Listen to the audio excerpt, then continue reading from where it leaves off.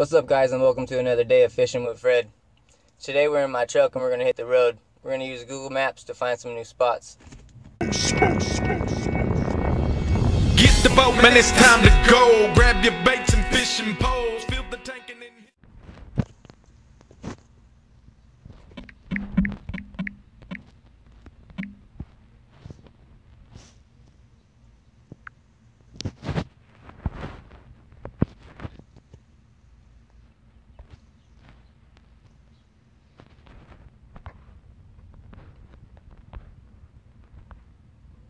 So guys, I went to get my pole fixed at uh, this shop a couple towns over. And one of the kids working there uh, told me about this pond over over by uh, Strathmore High School.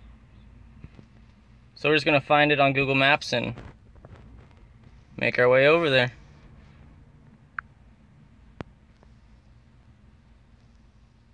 Hey guys, I made it to the high school in Strathmore.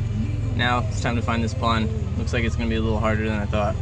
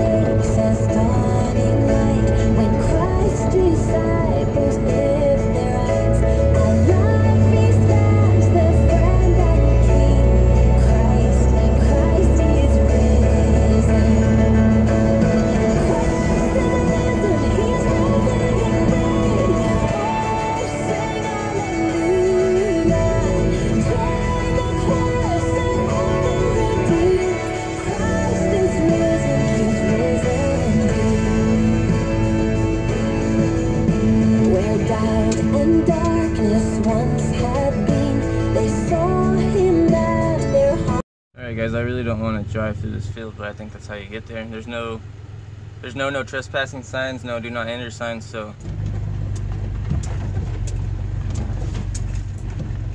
So I hope I'm going the right way. If not, whatever.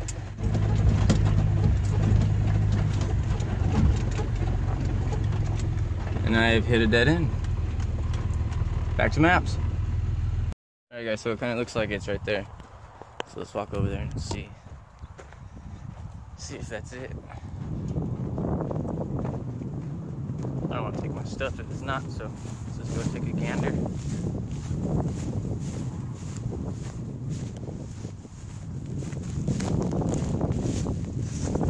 Snake heaven right here, man. Looks like a little water waterfall, but doesn't look like much water in there.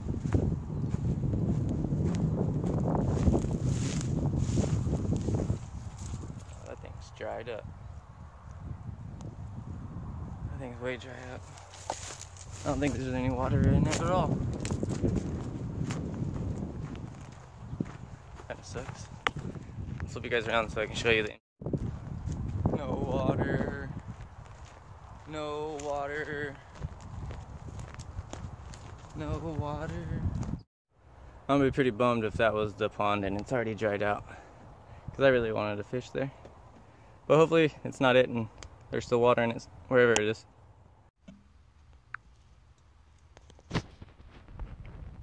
So guys, I guess if I would have kept walking, I would have got to that to the pond. But I thought that little irrigation runoff thing was was a spot, but I guess not. So I'm gonna get my stuff and keep going. That's why it's good to use Google Maps because you got that satellite image. I might not even fished right now. I might have left somewhere else. So good tool.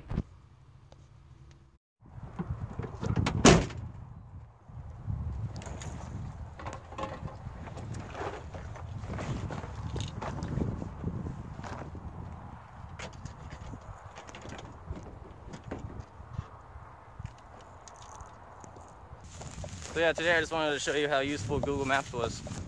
Because like I said, if I didn't look right now, I would have thought that pond that the kid told me about was dried up. And I probably would have went to a pond I know has water in it. And not fished a new spot, so think about that next time you guys go out and try to find a new spot.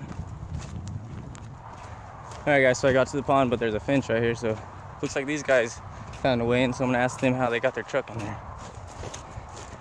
Hey, you guys fishing? You guys fishing? How do you guys get in there? This is right there by the high school fence? All right, right on, thanks. Cool, so I guess I'm gonna walk back to the truck, park right next to the pond instead of all this walking stuff. So, see you guys there.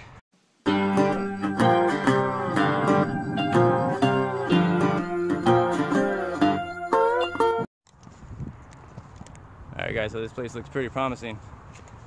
Let's go talk to these guys real quick. Thanks, guys, for showing me the right way in. Yep. Is there any fish in here? Big one, man. Some bass? Big bass.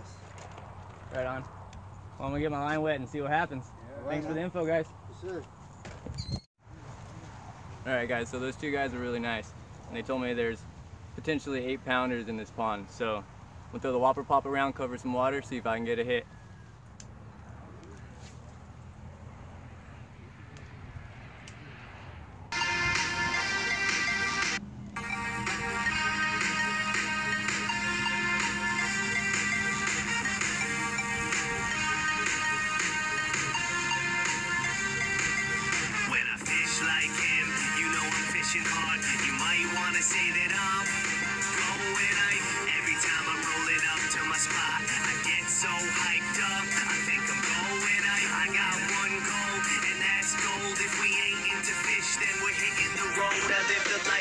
Fisherman, it never gets old. So welcome to the show. Come on, yo, we're going. Let me take you on a journey, a day in the life of a fisherman. Typical, awake at 2:30. Some would say it's too early, but it's ritual. It's time to hit the road again. I am Kennelly, straight from New Jersey. He blew through turnies to turn these dreams into reality. Now follow me, let's go behind the scenes. Who's the man behind the screams? The guy behind the jersey with the dick. All right, guys. So I'm and try to find these fish. Just walking around exploring this new pond, and this looks like a cool spot. So I'm definitely gonna flip and pitch this a little later. But let's keep on walking. There's a lot of like little secret little holes in here. There's a lot of water, so I don't want to stay in one spot too long. Oh, I'm seeing more life over on this side of the pond, so it's a good sign. Those guys said they haven't caught anything yet. I'm definitely gonna fish right here. This is this is where they're at right here. It's bugs, turtles. This is where the most life I've seen so far, so I'm gonna go get my poles. We're gonna fish right here. Toyota trucks in Berkeley. A kid who was fishing and hooked his first bass off the dock. But really, the fish stuck the hook in him to 03, take flight.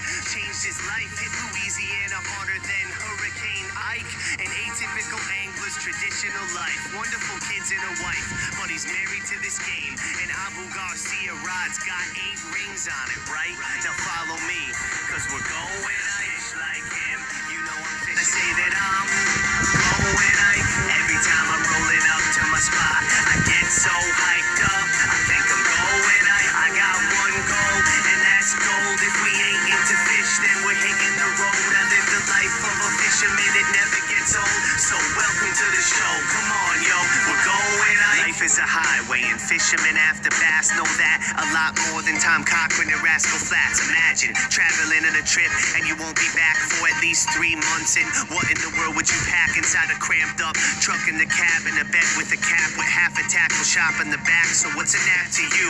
To them, it's a rest stop or a custom bunk in the back of the truck when there's nothing inhabitable on the map. When life is packed up in a duffel bag and rubber maids, you're running mad, lugging bass cats across the country, behind a tundra till your body's gassed. Your foundation's on wheels or a fiberglass home, not a concrete slab. As each season passes, you can tack another 40,000 miles upon the odometer on the dash. And with that comes unimaginable stories, man. Let's take a look inside the life, yo. We're going fish like him. You know I'm fishing hard. You might wanna say that I'm going hype.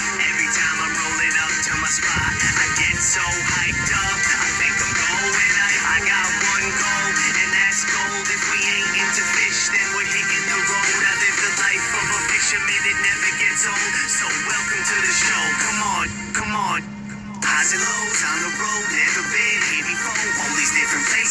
situations never with me, company is always welcome when I'm nowhere close to my family, man. My fans are what I need. Toyota Tundra's got a backseat.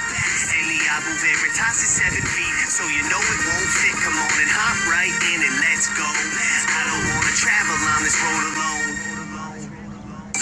Let's anywhere you want, you pick, I'm treating. Let's figure out the secrets and put together the pieces. Experience the feeling, feeling, casting and retrieving. And I better see you screaming when you rip up a behemoth. Completely go, I can start freaking. I'm so psyched thinking about it, but please just don't throw your reeling. Let's go catch the fish of a life.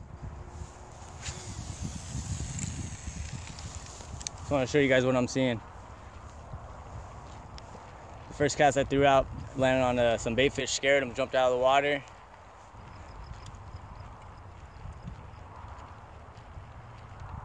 time and whatever happens along the way's fine. Man i got a good feeling when i fish like him.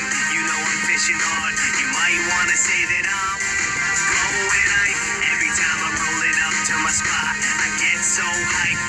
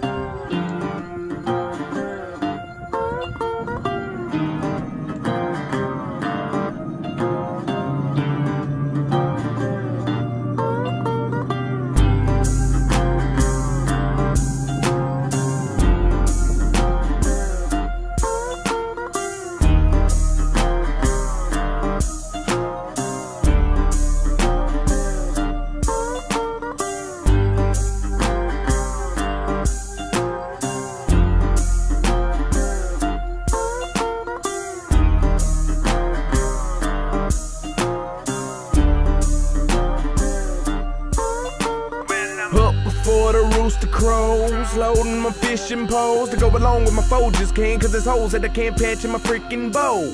Yes, sir, it's time to go. No livers, minnows, or soap. I'm a bass man, so when I'm the captain, we're after largemouth. You on a roll? I guarantee it'll be a hell of a time. And shine, keep on keeping the biggins out on the lines. I don't mind leaving, even if it's after midnight. I ain't leaving it light, the bite's better at night. So if you decide to ride, hope you don't mind that I packed a lunch, had a crunch, you like light, so I grab some ice and ice down the Bud Light. Cheers, here's to the hillbilly life. Everything we catch, we're keeping. Speaking of keeping, can you keep a secret? I don't need another fine. Alright guys, it's getting kind of late, so full moon's coming out.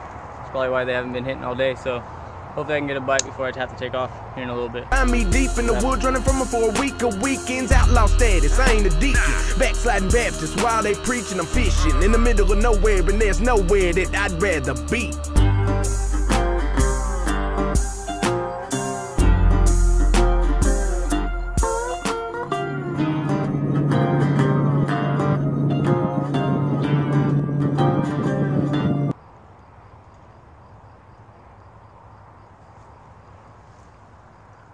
Nowhere that I'd rather be.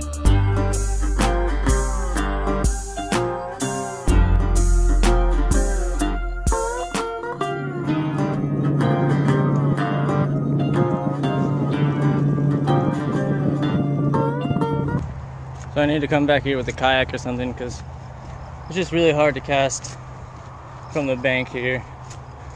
We got so much vegetation.